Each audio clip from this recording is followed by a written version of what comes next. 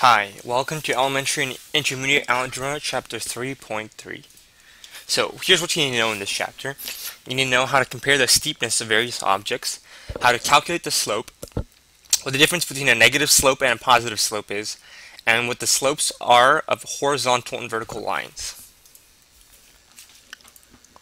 So, comparing the steepness of various objects. Let's compare the steepness of a driveway and the steepness of Mount Everest. Which one would you say is steeper? You'd probably say Mount Everest. But is it because of its height? Imagine if that the driveway kept on going until it reached 30,000 feet. So it's now a 30,000 feet high driveway. Would you say that Mount Everest is still steeper? Yes, you would. Why?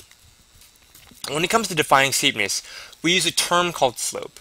And we also think, think about steepness as how hard it is to climb something. The reason why Mount Everest is steeper than the still steeper than the 30,000 feet high driveway is that it's because it's harder to climb. The driveway is pretty flat, whereas Mount Everest is a mountain. So what makes something hard to climb? Something is hard to climb when there's a large change in height over a small change in horizontal distance. In math, we call this rise over run, where rise is the change in the vertical distance, and run is a change in horizontal distance.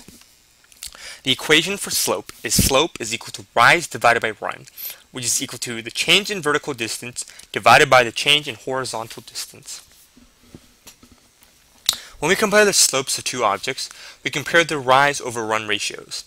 Let's compare the slope of two hills, modeled by triangles. Which one is steeper? Alright, so let's start at the bottom of the hill, or right here. So the formula for slope is rise over run, or the change in vertical distance over the change in horizontal distance. At the top of the hill, there's a 5 increase in height. So let's call this the let's call this the rise, the change in vertical distance. And at the top of the hill, we would have moved 15 feet on the bottom, or a 15 feet change in horizontal distance. So now know this. So we, let's divide this. We get the slope is one third. This one right here, at the bottom of the hill, we have um, we we start right here. When we climb to the top, we have a 10 change in, in vertical distance over a 4 change in horizontal distance. So now know our slope is 5 over 2. Which one is steeper? Well, from our math, we, we know now know that the triangle on the right is steeper because the slope is greater. And we can also tell just by looking at it. This the right one on the right looks so much steeper than the one on the left, and our math proves it correctly. So the greater the slope, the steeper it is and the, and the smaller the slope, the more shallow it is. Calculating the slope of a line. So the calculating the slope of a line is the same idea as calculating the slope of an object. So let's find the rise of a run. The slope of a line is always the same. Therefore, finding the slope of one section of the line is the same thing as finding the slope of the whole line. The easiest way to calculate slope is to pick two points on the line, x1, comma y1, and x2 comma y2 and calculate this rise over run from that. We use the same formula as last time. Slope is equal to rise over run, or the change in vertical distance. In this case, its second y value, y2, minus the first y value, y1, over the change in horizontal distance, which is the second x value, x2, minus the first x value, x1. So let's find the slope of this line. Alright, so we've, we, you know that the, um, let's pick two points. Let's pick um, this last point right here, which is 5, comma 10, and this first point right here, like 0, comma 0. So let's use our formula. Um, so this we'll call this one x2, and we'll call this one we'll call this um x2 and and y2, and let's call this one x1 and y1. All right, so let's do our formula. So it's y2 minus y1 in this case, it's 10 minus 0 over the um, x2 minus x1, so or 5 minus 0. So you know that. So this is so the since subtracting 0 means nothing, this just means 10 divided by 5, which is just 2. So you know that the slope of this line is 2. So let's find the slope of a line containing the points negative 2, negative 6, and 5, comma 15.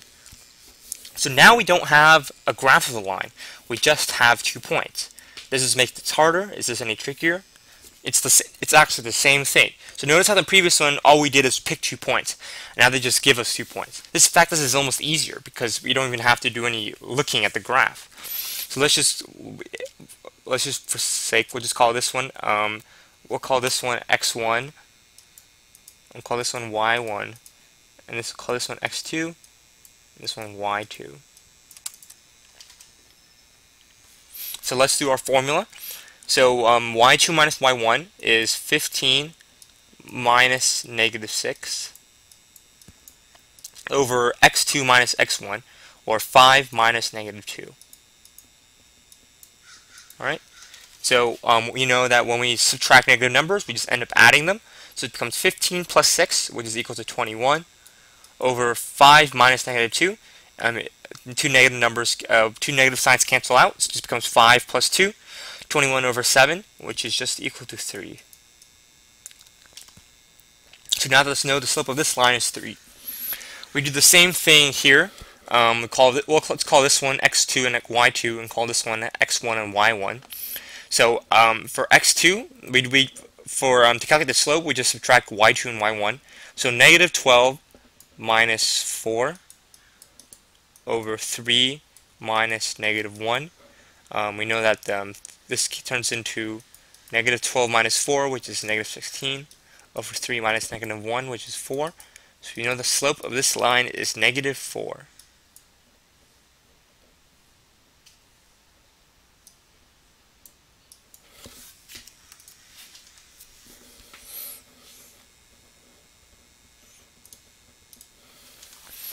So, negative versus positive slopes.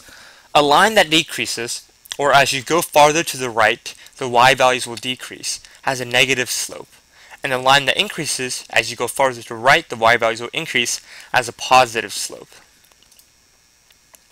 So, slopes of horizontal and vertical lines.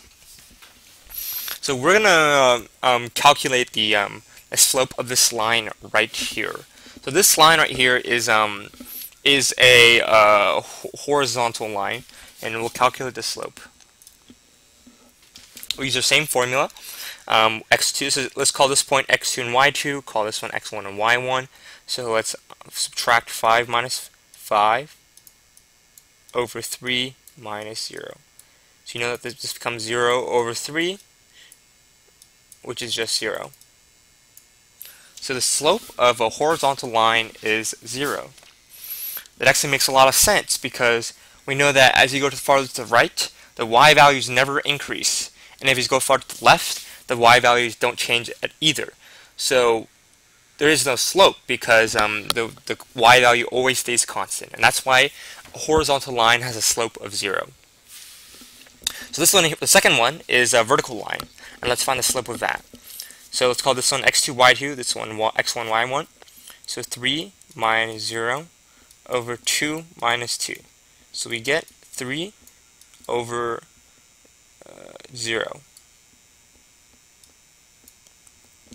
So as we, as I said in the previous chapter, um, when you divide any number by 0, the slope becomes undefined.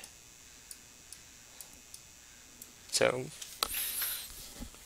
the slope of a vertical line is um, undefined. So if a teacher ever asks you what the slope of a vertical line is, just say undefined. Um, that's it for this video. Thank you for watching. I hope you learned something from this video.